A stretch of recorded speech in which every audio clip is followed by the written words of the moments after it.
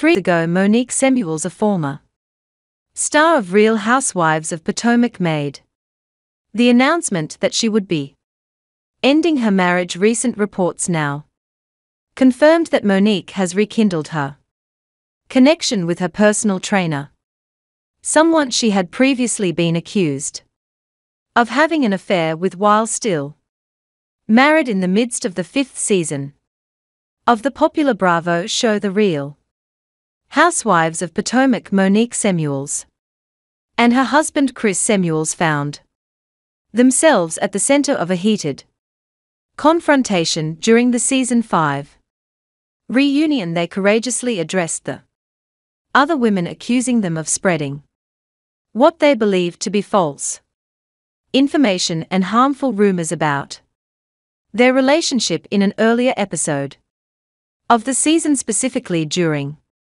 episode 2, Monique Samuels made a significant revelation she openly shared.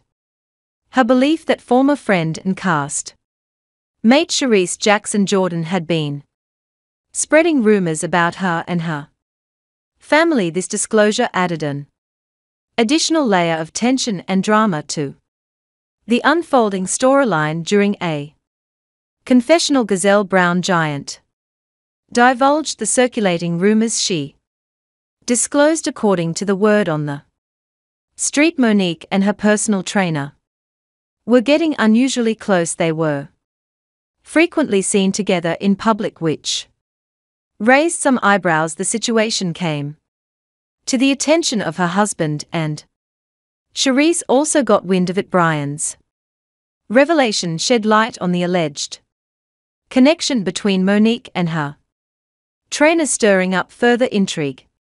Among the cast, Monique and Chris vehemently refuted the rumors, asserting that there was no truth to them whatsoever. However, sources confirmed that Monique has resumed following the same trainer on social media over the End of the week is this simple occurrence or might there be something?